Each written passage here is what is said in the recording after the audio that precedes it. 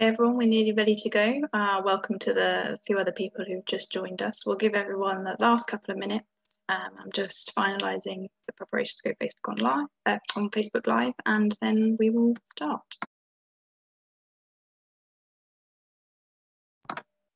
To those who have just joined, um, you can either ask questions via the chat box or via the Q&A function. Um, either will notify me that there are questions to be asked. We have got a few that were submitted in advance as well that I will make sure to ask. Um, to access the chat or the Q&A, you need to go to the bottom of your screen and there should be the two options that you can click on there. Um, any issues, please let us know in the chat box and we will try to help you as best we can from far away.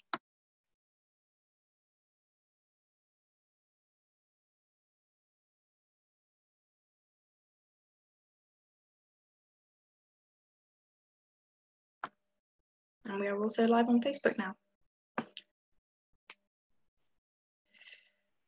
Right.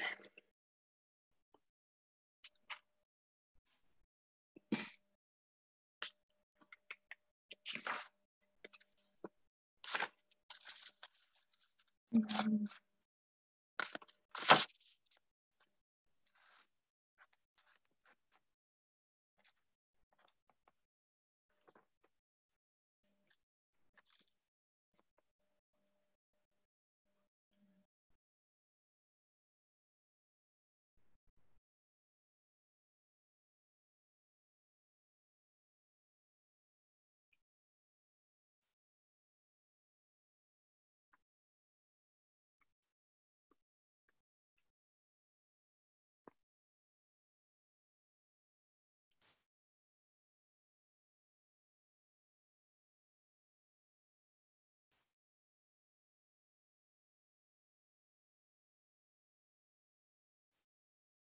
Okay, so it's 10.15, so I think we'll we'll get started with the, the webinar. Thank you everyone for, for joining in um, and the attendees. We've got a lovely turnout there. Um, Dr. Patel, are you there? Just waiting for him to, to switch. Yes, I am, yes. Wonderful, thank Hi. you. Just wanted to check you were there before I started rambling. Uh, so welcome everyone to this webinar. Um, we have tried to put this out as quick as we can, given um, that the coronavirus pandemic has sort of uh, come out of nowhere for everyone, um, but we thought it was really important to get as much information as we could out there for our patients and webinars uh, seemed the sensible option for this. So thank you for joining us. Um, as I said um, in the uh, before we started, if you would like to ask a question, please do so using the Q&A function or the chat function um, at the bottom of your screen. And I just also wanted to mention that the advice that we'll be giving today or any information we'll be given is UK specific. So if anybody is not from the UK, please do not take this information as, um, as relevant for your countries. Unfortunately, we're not able to give international advice. Before we start, I just wanted to introduce everyone. So we've got um, Kate, who is uh, an APL patient and a trustee of Leukaemia Care, and she's very kindly um, joined us as a panelist to uh, give sort of the patient overall patient perspective on the current situation. And also, of course, we've got Dr. Amit Patel from the Christie in Manchester. Thank you for your time, Amit. Um, so I'll kick off with a quick overview of um, the general government guidance and other bits and bobs. I just need to share the screen very quickly.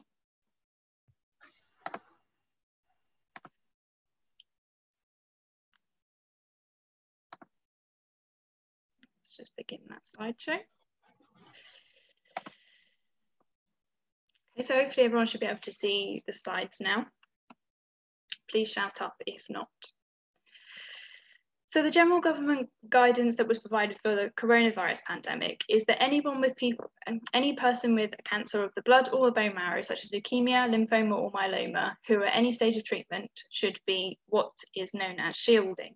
I think some confusion may have come from the concept of shielding. Um, this is a, sort of a, a, term that has been made up for the coronavirus pandemic, but this refers to um, staying at home uh, sort of uh, avoiding contact with any people. Whereas um, another term that's been used uh, since the pandemic has come along is social distancing, which is where you should avoid as much contact of, as possible with other people, but not necessarily, necessarily all contact with people. So the main difference there is um, I'll come back to that in a moment actually. Um, so when the government put this guidance out, we were made aware that they were taking a cautious approach into who should be shielding um, during the coronavirus pandemic. And therefore we took this to mean that anybody with leukemia um, or any other blood cancer diagnosis should be shielding. However, since then, it's become apparent that there are variations between blood cancer types, types of treatment, um, time since being treated, for example, those in long-term remission. And therefore, this webinar should hopefully clarify some of this guidance for, for everyone um, living with acute leukemias today. So some of this extra guidance we've been made aware of from haematologists and other experts in the area is um, that if you are in a continuing remission um, following intensive therapy, um, but you are still on immune, so that you are not on immunosuppressive therapies, and you are more than one year out of treatment, you are unlikely to need to shield. Additionally, there may be some potential variation between those who have um, had uh, allogeneic or autologous stem cell transplants. Um, and I'm sure Amit will, will come back to that later. Um, and there is also some confusion as to whether people experiencing uh, chronic graft versus host disease or GVHD, whether they should be shielding as well. Um, our advice has been that if you are not sure if you should, should be shielding, um, and if you have not received a letter, it's your clinical team who should be advising you as to your own personal risk.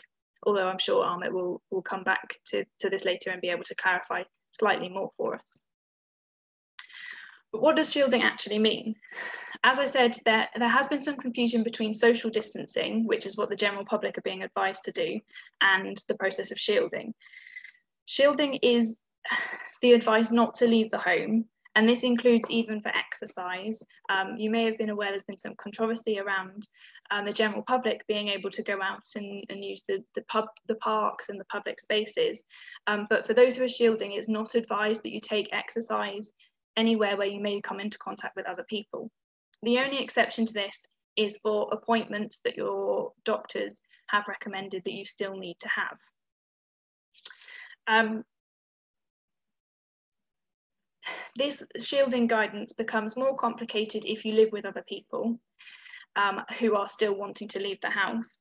Now, the advice from the government on this is if the other people in your household still need to leave the house, you must social distance from yourself, social distance themselves from you within your home. And this means remain two meters apart from them at all times, sleep separately, and use shared utensils and spaces at different times with full cleaning in between. Um, we appreciate that's not easy for everyone. And if you're if you want information on that specifically, I'd urge you to get in touch with Leukaemia Care, but we'll come back to that at the end. But what if you don't have a letter? So the NHS has been sending out letters to confirm whether you are vulnerable in this shielding group, but we are aware there have been teething issues with this, which is not unexpected given the speed and the scale of the project. Um, it's important to remember that you can still register for support. Now, England have a central system um, and we will share the link uh, on various places in our social media and I'm sure um, those monitoring our Facebook Live will be able to share this link with you. Um, and it should also be in your letter. The central system is is important um, because even if you haven't had a letter, you can still register and let the, the government know what sort of support you need. It's also important to note that local councils actually have their own schemes in place to support patients um, and also have, uh, a lot of them have dedicated helplines for those who need support. So um, it's always worth trying them as well if you haven't received your letter yet. Unfortunately, the situation is less clear in Wales, Scotland and Northern Ireland. Um, the advice is to contact your local council if you need support while you wait for your letter. In terms of obtaining a letter, as well as obtaining support, um, you should contact your GP in the first instance and your haematologist after that. Um, different trusts are, are making decisions as to who gets a letter in, in slightly different ways. Um, so hopefully one of those two people will be able to uh, assist you in finding a letter. And that's the information from NHS England. In terms of treatment changes, I'll let Amit explain most of this um, as this is his area of expertise, but our understanding of the situation as a whole is that doctors are being asked to make risk benefit decisions for each individual patient. So you should be advised whether your treatment or your appointment is necessary based on your individual circumstances and what you need at that time. It's also important to note that the NHS have told us that urgent cancer treatment is still a priority. So there's no general guidance that, that has asked uh, hospitals to stop treating cancer patients. That's really important to a message to get out there. In terms of general guidance for doctors, um, the NHS and NICE have distributed advice to doctors on how to make those risk benefit decisions. And also specialist groups are adding to this, which I know um, Amit will touch on in, in a bit, but um, two important bodies, uh, the NCRI AML Working Party, which is a group of AML clinicians, and the EBMT, um, that's bone marrow transplant European level group, are also providing advice to clinicians. So I just wanted to highlight that, again, the urgent cancer treatment is still going ahead. But if you do not understand why a decision has been made one way or another for you, um, please speak to your doctors and they should be able to under, uh, explain why a decision has been made on your behalf.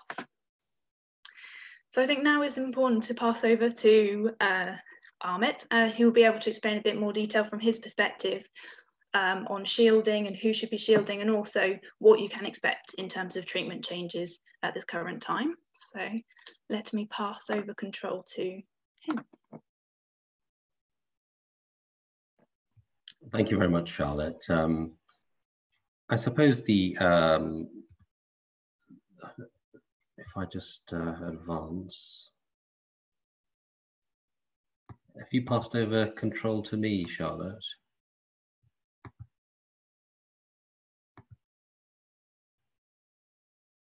There we go. Okay. And then slideshow. Okay, fine. So um, I'm going to spend a, the next couple of minutes talking a bit about uh, uh, leukemia, particularly acute leukemia, and uh, some time talking about transplantation uh, and CAR T cell therapy. Uh, but as Charlotte's pointed out, I think the, the most important thing to do is if you haven't received a letter um, saying that you're in a vulnerable group, uh, at least in England, you can register uh, online and uh, get access to food parcels and other support. Um, I, th- I, think, I think the arrangements are slightly uh, less developed in other parts of the country um, where councils are, are leading on this, but the link is there to, uh, to self-register. Um, I think that the important thing to say about COVID 19 in patients with blood cancers is actually we know very little um, globally about this. Um, there, in, in, the patients that have had uh, more of a severe illness, there's not been an excess representation of patients with blood cancers or patients who have had a transplant or CAR T cell therapy, perhaps because the numbers are very small, but also because uh, I suspect a lot of patients are um, already practicing some form of social distancing, which is what we advise and have always advised our patients to practice. Um, and uh, I've just presented the numbers here from America, and you can see that uh, all types of blood cancers are uh, affected, including patients with acute lymphoblastic leukemia, acute myeloid leukemia. Um, and you can see all types of disease severity are also represented as well.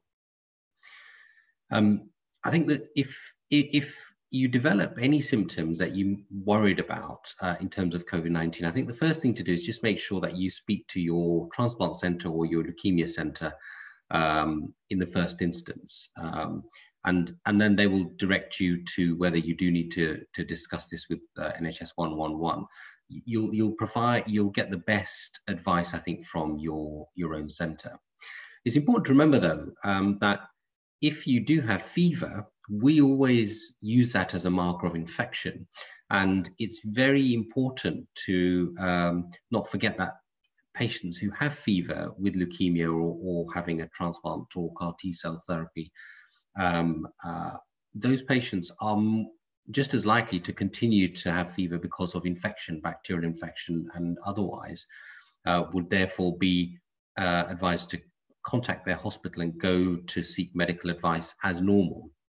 I think if COVID 19 is then suspected at a later date, the hospitals have all got their own uh, policies and procedures or about isolation in, in that regard. if we remember that, although the government advice is uh, in relation to cough and fever, um, the number of symptoms, and this is a short list that, that we're continually adding to, uh, that are uh, found in patients with COVID-19 are quite uh, large, and they include uh, fatigue, breathlessness in particular, uh, as well as uh, shortness of breath, sputum production, chills, and so on. But patients who end up having symptoms of a sore throat or a headache or nasal congestion, these patients can also have COVID-19 as well. So it's, it's very important to, to get advice from your, your hematologist. In terms of acute leukemia, I think um, following on from what Charlotte said, um, all patients would uh, be included in the uh, category for not just self-isolation, but for shielding. Um, and and uh, we can talk a bit about uh, what that means for patients in long-term remission um, and, and, and issues like that in the Q&A. But I think in, in general, this applies to every patient who has uh, acute leukemia and is receiving some form of treatment or has recently received some, some form of treatment. Um, for newly diagnosed patients, the recommendation is to uh, screen for COVID-19 and most centers are now able to do this uh, as the number of tests available to uh, the hospitals has increased. And also most patients uh, would be recommended to be um, nursed uh, with uh, a single room if available. And again, this is going to be difficult in some centers, but this is what's recommended. Patients that are partway through treatment uh, will find that um, their treatment may be delayed or uh, subsequent consolidation cycles are either de uh, delayed or omitted based on uh, based on molecular monitoring um, and patients who have no detectable disease, for example, after some treatment may then have a, a gap uh, or uh, just be monitored in the interim rather than being put at increased risk of uh, developing uh, severe manifestations of COVID-19 uh, with, with chemotherapy. Patients with acute lymphoblastic leukemia um, who have completed the induction phases of chemotherapy are likely to continue on some form of maintenance therapy.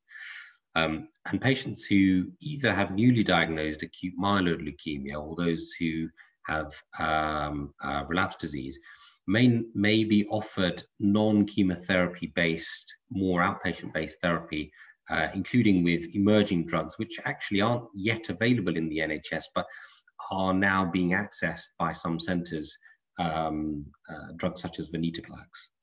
Um, patients with good risk disease may have a cycle omitted and just be monitored, uh, as, as, I mentioned. And I think um, uh, patients who have relapsed or refractory disease may then be offered again emerging treatments uh, that are targeted, which allow the patient to uh, spend more time out of hospital where the risk of catching COVID-19 will be lower um, as long as self-isolation and shielding is practiced.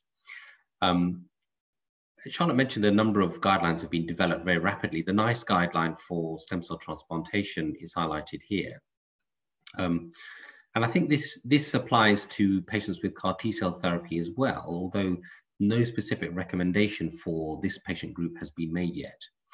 Um, and a number of points from this are important to highlight. I think one is that uh, patients who don't know uh, they have COVID-19 prior to a transplant or a CAR T cell um, therapy being scheduled, those patients should uh, self-isolate and shield for more than two weeks prior to the planned procedure.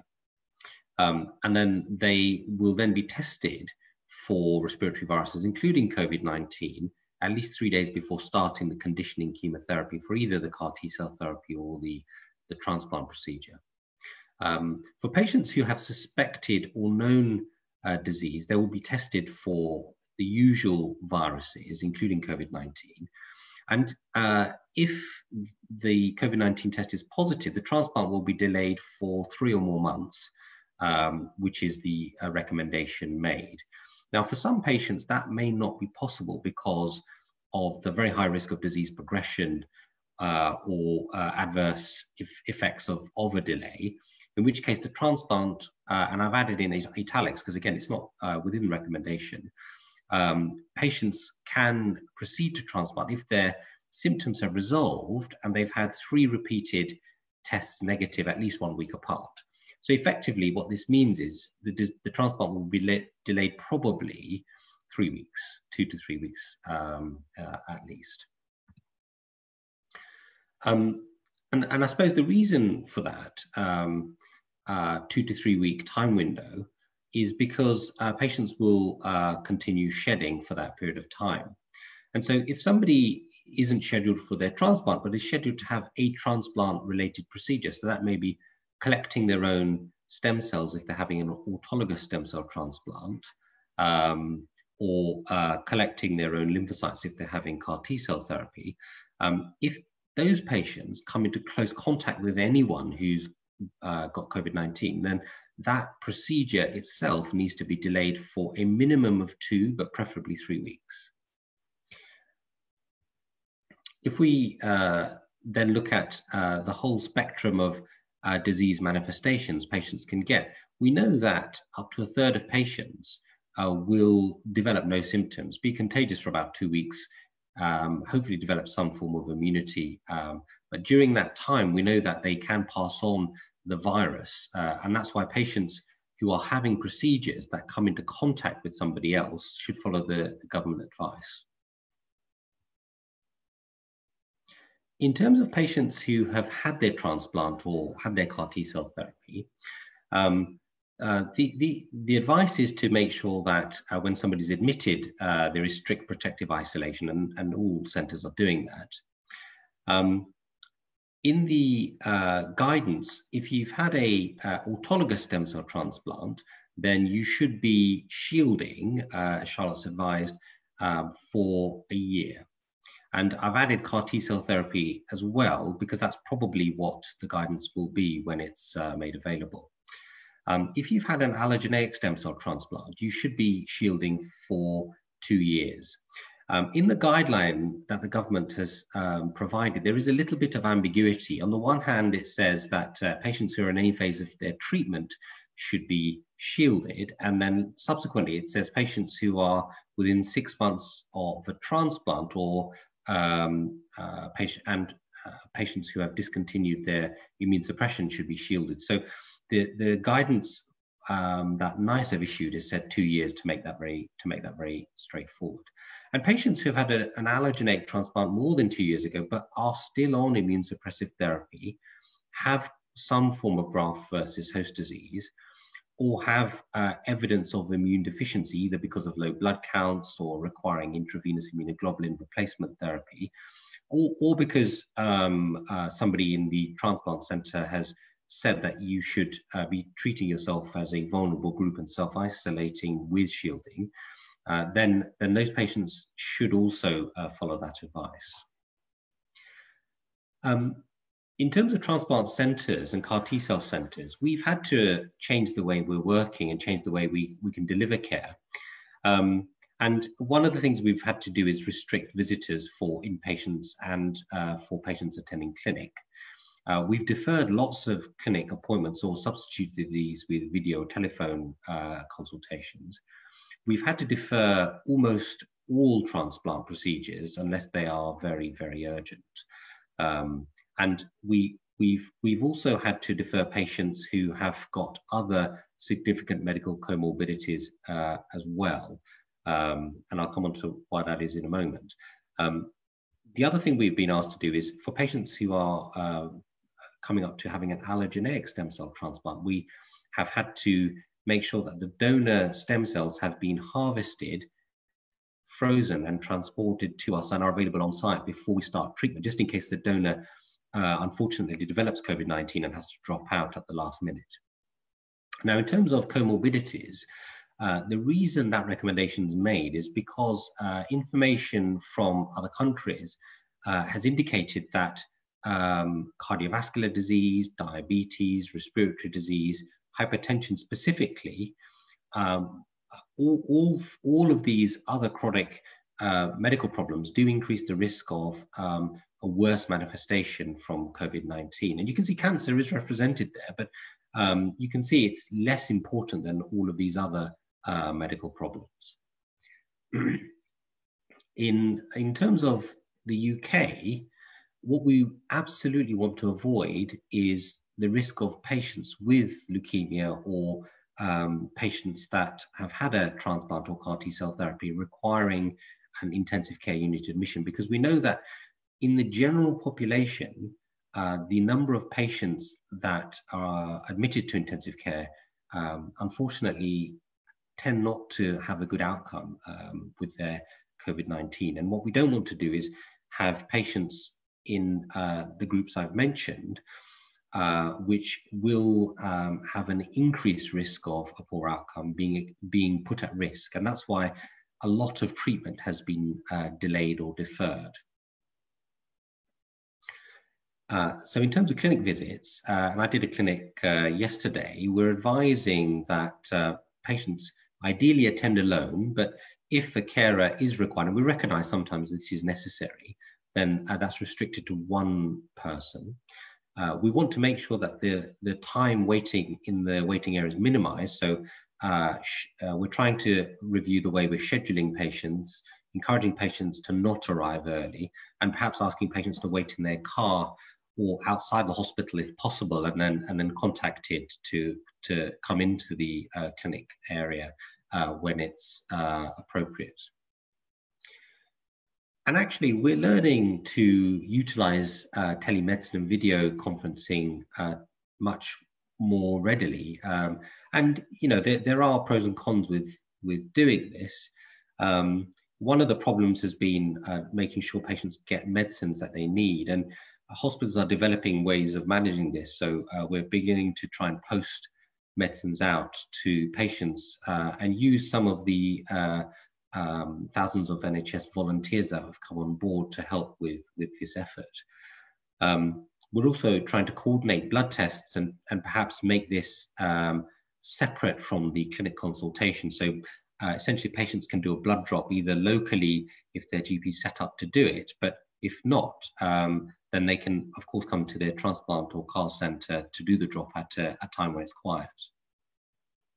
And I think the, the last uh, slide I wanted to show was this um, uh, slide about uh, staying at home. And I think really all of us, um, uh, particularly patients um, who have leukemia or who've had some form of cell therapy, should be uh, self-isolating, and and patients uh, who fulfil the criteria for shielding should be shielding, as um, as Charlotte's advised.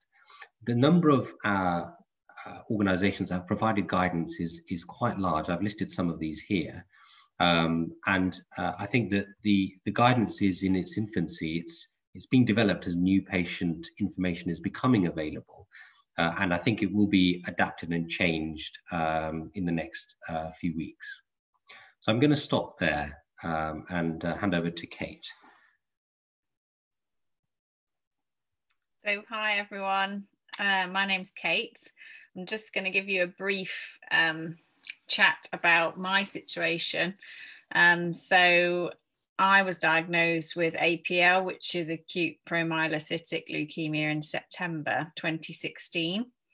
Um, after three rounds of chemo, things looked to be good, and then I relapsed and it came back again with a vengeance. And so, after arsenic treatment and um, cranial radiotherapy, I then had an auto stem cell transplant in September 2017, which included high dose chemo and total body irradiation. Uh, things didn't quite go to plan after that, so it took a long while for me to recover from that. Um, but now, thankfully, I'm in remission. So that was sort of two and a half years ago when I actually had the transplant. And I am on the extremely vulnerable list. I've received the letter um, and the text. So I actually had the text message on the 23rd of March and then the letter a few days later. Um, so really, I just want to talk a little bit about that and how I've sort of coped with that. So at the moment, um, I'm staying at home as per the ex- the guidance. Um, I live on my own, um, and I'm relying on friends to drop off food. For me, I was surprised to be on the extremely vulnerable list because I thought, well, I'm in remission. It's been quite a while since I've actually had treatment as such. Um, but the only thing I can think is that I'm on the list because I'm still being closely monitored. So I'm having bone marrow biopsies every three months. Um, my immune system has taken a big hit from the transplant and all of the treatment. So there's still ongoing issues there. Um, so, yeah, so I wonder if that's why I'm on the list. Also, I'm waiting to have um, heart scans because of uh, side effects from the treatment. So perhaps that's why I'm on the list. But as per the guidance, I think I'm just going to take it very seriously and stay at home for 12 weeks. Um, I'm quite lucky that I have a garden that I can go into, and that's good just to get some fresh air. I'm trying to exercise at home, but it is worrying. Um, and I'm especially worried actually for the friends that I'm asking to bring me food because you think, you know, you don't want to put them at risk for actually having to go out and buy it. So, yeah, there's a lot of um, anxiety around this. And I think for me, as cancer patients, um, especially for the acute leukemia patients like myself, you know, we spent a long time in isolation um, during treatments. I know I spent many, many weeks in hospitals at various times um, isolating, so in an isolation room or on a ward or having to spend time at home after the transplant.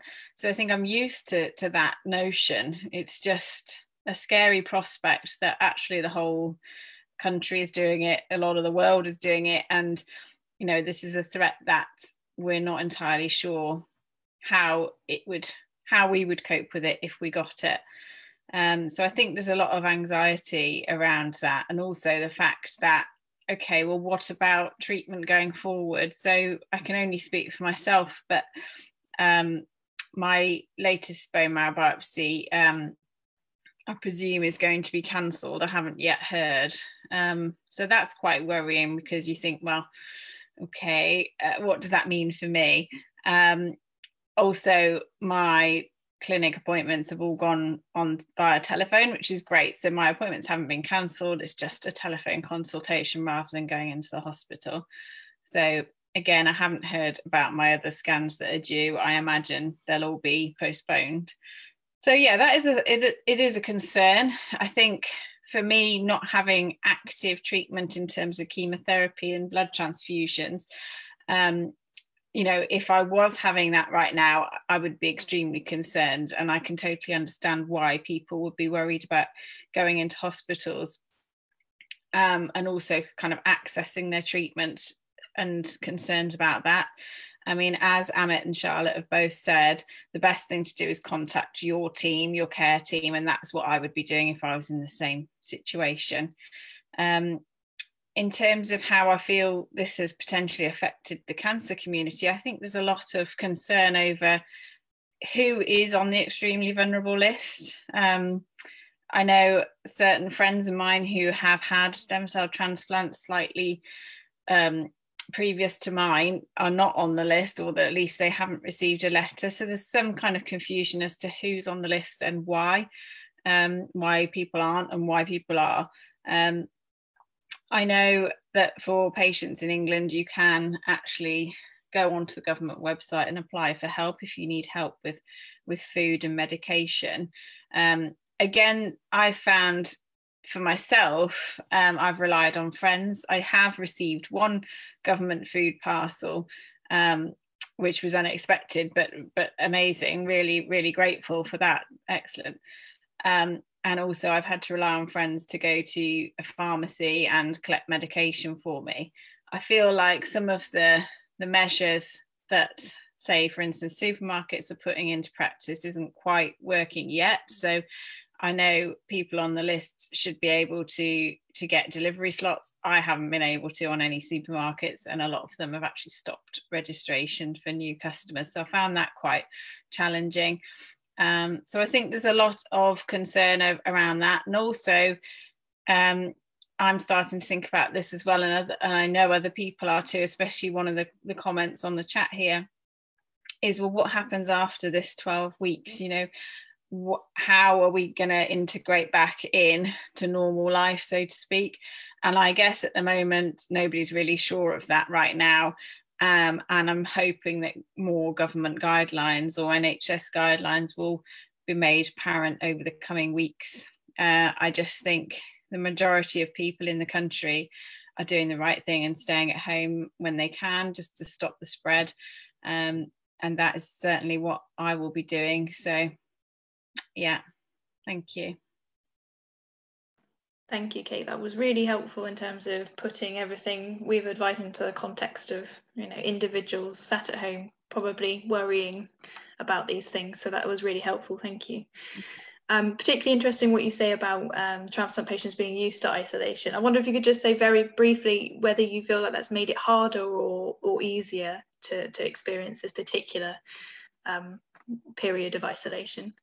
Yeah, so I know when I first got the letter or the text, even, I did sort of my immediate reaction was horror, you know, and I thought I don't want to have to do this again. But actually, when I when I calmed down and, and thought about it rationally, I thought, well, come on, you're you're a bit of an expert on uh, um, self isolation here. so you've done it to the extreme, uh, and you know you can get through it. And this time, you know, I'm not having to do it feeling so so ill.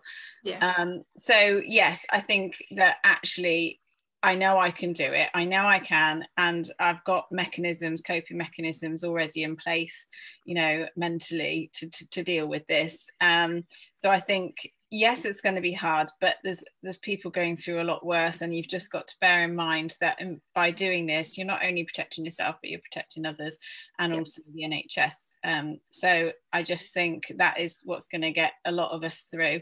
Certainly that's what's getting me through. Um, yes it does bring back sort of some traumatic kind of memories from that time but i'm just trying to flip those and use it as a bit of a a push to get through it and think come on you can do this. Yeah Good. Okay, so we'll move on to some questions. Um, we've had a lot of questions come in from the Facebook Live as well. Um, I will say, just because of the sheer number of questions and time, i am going to focus on things that haven't already been covered by Amit. Um, I think a lot of people are asking um, whether how long in remission um, they they should when who should be shielding based on how long they've been in remission. But I think Amit has largely answered those questions, unless you wanted to add anything at all, Amit, to, to that. But I think you have sort of made that clear in your presentation. Anything you wanted to add to those questions? No, I, th I think the, the list um, for patients um, post-auto transplant uh, or CAR T cell therapy is a year, post-allo transplants two years or longer if um, immune suppression, GVHD, inadequate count recovery, or, or other reasons um, dictate that then those patients should continue to be shielded. Um, in terms of acute leukemia, if you're receiving any treatment at all, and I think that includes monitoring as well, then you should be shielding. And, and if you haven't received a letter, then then um, the government website is is definitely worth visiting, at least if you live in England. Uh, we've had quite a few questions around the guidance um, shielding and the ability to go out for exercise. And uh, obviously in my presentation I said that the, the the guidance for everyone else who is not in the extremely vulnerable list is you can go out for exercise. And the advice for people who are shielding is you can't. Um, Amit, are you able to explain the uh, what you think the reasoning behind you know people shielding not being able to go out for exercise is? Uh, and people are there is one question in particular about a concern about losing their fitness um, because they're not able to go out to exercise anymore. Are you able to give any advice for those people? So um, the the isolation really is to make sure that the the virus spread is slowed down and um, exercise is allowed in that because it's not felt that those individuals, that's all of us, um, are at increased risk should we develop the infection. So in other words, that, that really is for um, other people, the, the um, self-isolation advice. The shielding is to protect the individual that is being shielded. So um, you don't want to, at any cost, get exposed to COVID-19. Um, and and that means unfortunately um, avoiding exercise which does carry a risk of catching the infection. Um, so although we're we're saying that um, for the general public you can go out and exercise that doesn't mean that the risk of catching uh, infection is eliminated. It's it's just reduced and it, re- it reduces delays the transmission between that individual and another person. It doesn't necessarily protect them um, so that's why shielding is, is very important uh, and quite different to the isolation. Shielding is just for your own protection. Yeah, absolutely. Um, we have a question here about anxiety over over relapsing during this time. Um, our advice is you, you, if you are concerned about any symptoms your your usual clinical team are the best place to go to, to speak to them. And we are still encouraging people to to raise these things at the clinical teams even if not every even if the whole team isn't available there should still be someone in your clinical team available to answer your questions. Um, do you do you echo that advice Amit? Would you have anything else to say about to people who are worried about relapsing during this time I mean, I think um, the the the hematology community has thought uh, quite long and hard about this um, dilemma. Um, patients who haven't initiated treatment uh, with acute leukemia um, are, are, a group if if they if they are free of virus are likely to be recommended to continue with treatment of some form. It may not be as intensive as uh, we perhaps would have done uh, without COVID 19 um, uh, restricting services. But nonetheless, we've modified the plans so patients can receive um, highly effective but less intensive therapy uh, should that be required for, for, for example, for acute myeloid leukemia. Uh, patients with acute lymphoblastic leukemia will uh, who are newly diagnosed will have their treatment um, as they would have done without the COVID um, uh, pandemic. Patients who have uh, achieved a remission will um, perhaps be delayed. And for those patients to monitor for relapse, bone marrows, blood tests, and other things are continuing. We're trying to rationalize the uh, the attendances to hospitals. So, for example, sometimes scans are delayed or, or put back, but, but other tests are generally being uh, undertaken. If a bone marrow can't be taken, then, then uh, a, a, different surrogate marker, perhaps in the peripheral blood, is being used instead. Um, patients post-transplant similarly will have routine assessments uh, carried out um, in most centres. The, the frequency of face-to-face -face contacts will reduce, uh, perhaps being replaced with um, telephone contacts. Great, thank you for that. Um, there's a couple of people asking questions about um, surprise that they're getting the letter, and I think Kate covered this nicely.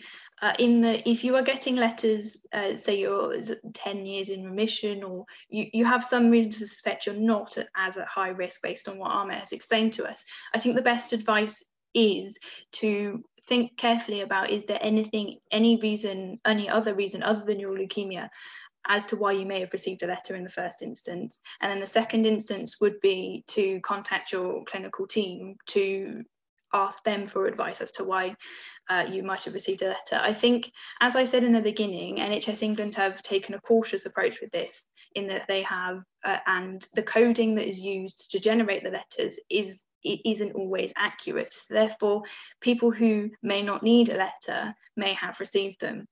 Um, so yes, have a, have a, have a think before you make a decision as to whether shield or not. Have a think as to whether you might be at risk based on some of the extra information we've managed to provide today, um, and speak to your clinical team before you make a decision on that. Um, either of uh, either of you, Kate or Amit, want to add anything?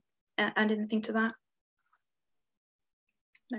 No, I think you've covered it there, Charlotte. I think um, you're right. I mean, I was surprised, like I said, but I think I am, you know, on reflection, yeah, I think it's the right thing for me to be doing. Um, not only for myself, like you said, but for other people as well. And, you know, trying not to put any more burden if I was to get it and need hospital care onto the NHS. So yeah, I would I would suggest people who have the letter, yeah, to, to seriously think think about it and yeah, do the best that they they feel is right for them. Thank you. Um, question for for you, Amit. There's a, a lady here asking um, if stem cell transplants are delayed, um, whether there will be a backlog of patients and who may or may not be prioritised for transplants in the future. Is that something we're anticipating to see, and how will that be dealt with by clinicians?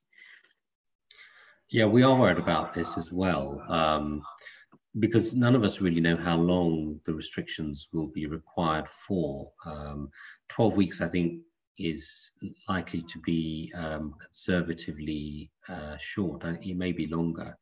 Um, and as you say, when when normal um, services are reinitiated at some point, then there will there will potentially be lots of patients needing treatment. Now, um, the guidance is that uh, we should be prioritizing patients based on their cancer indication. And um, therefore, patients who have the highest risk of relapse uh, or the um, uh, those patients that have more of an acute illness, so patients with acute lymphoblastic leukemia acute lymphoid leukemia will be prioritized um, uh, at the, the highest um, priority level. In terms of um, if centers don't have capacity after uh, uh, the pandemic is is gone, then there there will be regional approaches taken. So patients may be offered treatment um, in you know their neighbouring transplant centre or their neighbouring CAR T cell therapy center. So that that that work is um, already beginning, but that hasn't that hasn't um, come online yet because we don't know when we'll be able to um, to initiate normal transplant practice. Thank you for, for that. Um, the last couple of questions, there's a, there's a few people asking um, about the risk to patients once uh, the shielding guidance has ended or whether this might be extended. I don't know if you are able to comment on this, Amit. Um, from our perspective, um, that it's it's such an unknown at the moment as to how long this may or may not go on for, and um, unfortunately, it, there, there is no guidance as to to what happens once the shielding and the social distancing for everyone else has lifted. But I don't know whether you are able to say anything about the risk um, from a, a clinical perspective. I'd agree with that, Charlotte. I think we just don't know um, what what the government advice will be, and I think um, if if we look in at other countries uh, in the Far East where this has occurred, they've had to reinitiate some form of um, self-isolation or restriction in in, in uh, movement uh, because of a resurgence of the virus. Um, uh, and and I think you know we may end up in a similar situation. Um, in terms of self, uh, in ter- that's in terms of self-isolation. In terms of shielding, um, it may be that if uh, there is a second wave, then um, the government uh, may choose to advise that shielding is uh, reinitiated for a period. But I think, you know, I can't speculate about that, and I don't think really anybody knows at this stage. Mm-hmm. Um, I think the one last question I wanted to ask is um, we focus quite heavily on transplants, but there's a question here about uh, how long in remission from other types of treatments, such as chemotherapy, should someone be before you could consider them not at risk in terms of needing to shield or not? So um, for uh, for acute myeloid leukemia, if somebody has finished all treatment uh, more than a year ago, is not requiring any further uh, monitoring bone marrows or anything else. Um, and uh, you know maybe attending every year um, with a blood count, then th those patients would be at the lowest risk, and those patients um, don't necessarily need to be uh, shielding. Everybody else should be shielding. Um, so a couple of examples: um, patients who have had their treatment finished up five or more years ago, complete recovery of their blood counts, not on any further treatment, um, haven't had a bone marrow um, in the last year, and, and, there are no further marrows planned, then um, the the advice would be actually you probably don't need to shield. Um, if somebody has um, finished their treatment um, in a shorter time period or continues to have bone marrow monitoring, like uh, Kate mentioned, then really that's part of active treatment and, and you should really be considering yourself as somebody who would benefit from shielding. Um, for acute lymphoblastic leukemia is the same. So if you've if you're still on maintenance treatment two or three years out, then you are on active treatment and should be shielding. If you've completed that uh, more than a year ago, but are still having uh, bone marrows for monitoring purposes, then that's should be considered as active treatment uh, and should be shielding. If your blood count has not recovered for any reason, you should be shielding. And really only if uh, you're a couple of years out, you're not really being monitored other than the uh, an annual blood count um, and your blood count has recovered, should you then consider yourself uh, somebody who doesn't necessarily have to shield. But I, I think as both Kate and uh, Charlotte have mentioned, um, it's, you know, if there's any doubt at all, uh, it will be it'll be worth just getting in touch with your your local um, leukemia service or transplant or CAR T service uh, to clarify the situation because they'll know they'll know your about your care better than anybody else. Definitely. Well, I have to apologise to everyone whose questions I haven't got to. Um, I think most of the questions we have answered throughout the presentations as well as during the question section, hence why I, focused on some of the things we didn't cover in the presentations. Um, we will be putting this out in some form um, afterwards so people can refer to uh, to back, back to it. So um, please do that. Or um, I have just put up this slide to make it clear that we at Leukaemia Care are still uh, here and providing as many services as we can. And um, you are always more than welcome to drop us an email or give us a call on the helpline and, and we will um, try to advise on your individual circumstances as much as we can. Um, bearing in mind, of course, like always, we can't give individual medical advice and your clinical team are always the best people to, to ask in that uh, instance. Um, I think the only thing left to say is to thank my fellow panelists Dr. Patel and Kate, thank you so much for your time. I apologise we've taken up slightly more of it than we anticipated, um, but possibly not unexpected. Um, yeah, very grateful for that. Um, and thank you everyone for, for joining us on Facebook and on Zoom. Um, it's been really uh, quite an interesting experience for our first one. In case anybody's watching on Facebook and is wondering about other leukemia types, we have a CLL one at 3 p.m. this afternoon. Um, and we're also working as hard as we can to provide information for every other blood cancer type that, that we can. Um, so please look out for those and we'll distribute the information in newsletters and on social media when those are sorted. Thank you to panelists and thank you for watching everyone. Thank you. Thanks. Thank you very much.